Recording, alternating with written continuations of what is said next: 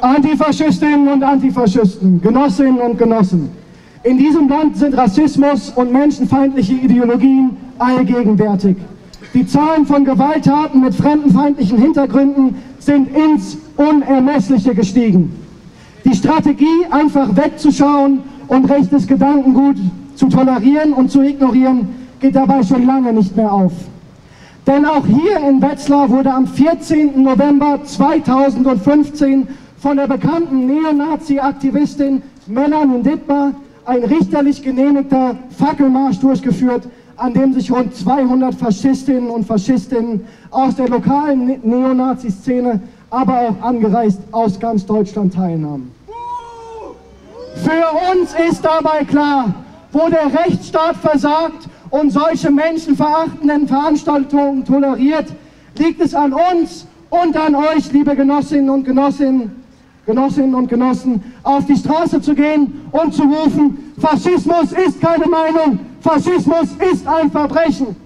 Es gibt kein Recht, Auf Nazi-Propaganda! es gibt kein Recht auf Nazi-Propaganda. Es gibt kein Recht auf Nazi-Propaganda. Es gibt kein Recht auf Nazi-Propaganda. Auch wenn sich ein breites Spektrum aus einem bürgerlichen Bündnis formierte und in einer Großkundgebung ein Zeichen gegen rechts zu setzen suchte, steht für uns fest, dies war an der völlig falschen Stelle. Denn nicht dort, wo der Fackelmarsch der FaschistInnen effektiv durch eine Blockade hätte verhindert werden können, nämlich genau hier auf dem Boderusplatz, wo wir heute stehen, hat man sich nicht versammelt. Nein, lieber ein Volksfest mit Luftballons und Bratwürstchen auf dem Domplatz, fernab und scheinbar sicher von, vom eigentlichen Geschehen, schien eine bessere Lösung zu sein. Doch etwa 60 mutige Antifaschistinnen und Antifaschisten wagten es, sich der größten denkbaren Herausforderung zuzuwenden und stellten sich hohen Mutes und tief entschlossen dem FaschistInnen-Tross entgegen. Doch die Belohnung für die geleistete Zivilcourage waren Knüppel und Faustschläge, Fußtritte und der Einsatz von Pfefferspray durch BFE und Bereitschaftspolizei. Und wäre dieses gewaltsame Vorgehen nicht schon genug gewesen, wurden die zum Teil noch minderjährigen GegendemonstrantInnen mehrere Stunden lang erbarmungslos festgehalten. Davon ausgenommen waren nicht einmal Passantinnen und Passanten, die nur zufällig in den Repressionsapparat der Polizei gelangten. Weiterhin wurde ein durch Pfefferspray verletzter Gegendemonstrant nur durch das gutherzige und wagemutige Engagement einer Augenärztin, die sich nur zufällig unter den PassantInnen befand, geholfen werden. Denn nicht einmal Rettungskräfte, nicht einmal Rettungskräfte durften die unüberwindbaren Barrieren der Polizei passieren. Dieser Status quo wurde so lange aufrechterhalten, bis die FaschistInnen ihre hetzerische Stadtbesichtigung plangemäß durchgeführt hatten.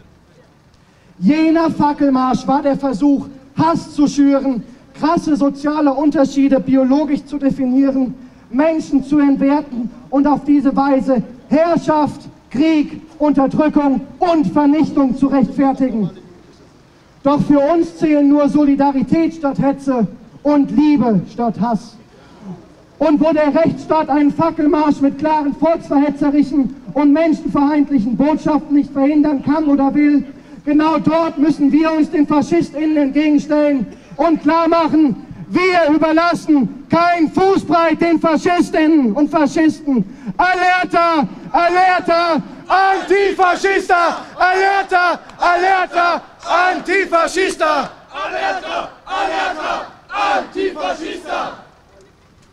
Liebe Antifaschistinnen und Antifaschisten, liebe Genossinnen und Genossen, danke, dass ihr heute da seid, auch von weiter weg angereist und auch mal die Großstädter äh, nach Wetzlar gekommen sind.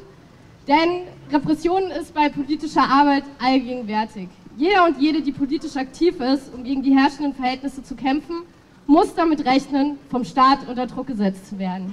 Seien es Festnahmen bei Demonstrationen, Hausdurchsuchungen, Strafbefehle und Prozesse oder Einschüchterungsversuche. Es wird nichts ausgelassen, um Kritik und Widerstand systematisch zu unterdrücken und zu zerschlagen. Beispielhaft dafür ist die gewaltsame Räumung der friedlichen Blockade gegen den Nazi-Aufmarsch Ende letzten Jahres hier in Wetzlar. Trotz der Brutalität seitens der Polizei lassen wir uns nicht einschüchtern. Blockadekonzepte haben in vielen Städten Erfolg gezeigt. So konnten beispielsweise in Dresden oder Wunsiedel den Nazis erfolgreich ihre Plattform für ihre menschenverachtende Hetze genommen werden. Unser Genosse Valentin wurde am 1. Juli 2015 in Bremen verhaftet. Ihm wird vorgeworfen, an einer Auseinandersetzung nach einem Fußballspiel beteiligt gewesen zu sein, bei der eine Gruppe antifaschistischer Ultras von Nazi-Hooligans angegriffen wurde. Seitdem sitzt Valentin fast durchgehend in Untersuchungshaft. Mit Schikanen wie Isolationshaft und die Verlegung in eine Haftanstalt weit weg von Valentins Zuhause versuchen die Behörden ihn zu brechen. Des Weiteren werden linke und soziale Wohnprojekte kriminalisiert. Anfang des Jahres stürmten 500 Polizisten mit fadenscheinigen Gründen und ohne Durchsuchungsbefehl das Haus in der Rieger Straße in Berlin-Friedrichshain. Da sie nichts fanden, wurde kurzerhand alltägliche Gegenstände wie Feuerlöscher als gefährlich ausgegeben.